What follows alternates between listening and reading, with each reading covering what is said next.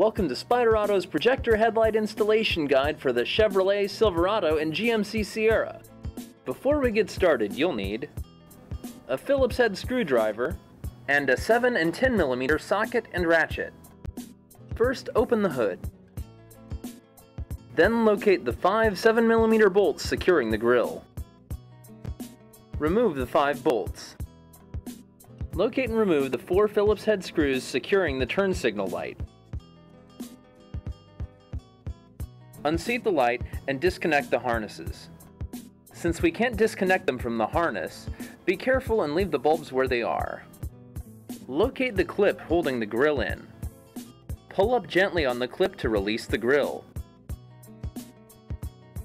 Unseat the grill, disconnect the park lamps from the grill, and then set the grill aside.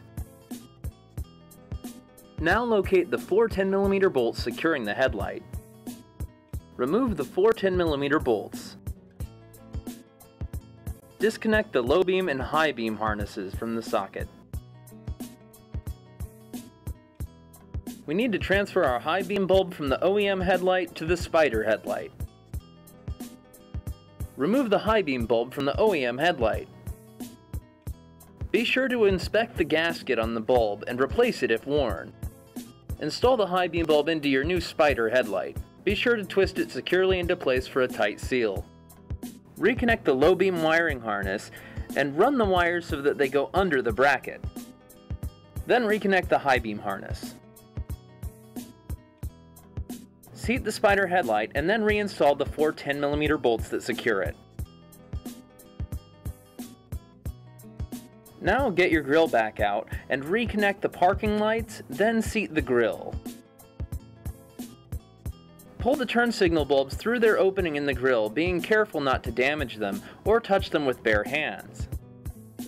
Wipe the turn signal bulbs clean, then reinstall them into the turn signal housing.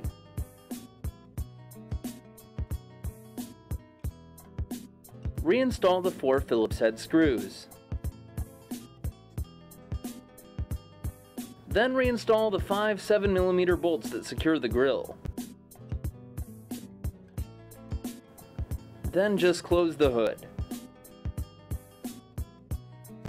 Congratulations, you fitted your Silverado or Sierra with a set of slick projector headlights from Spyder Auto.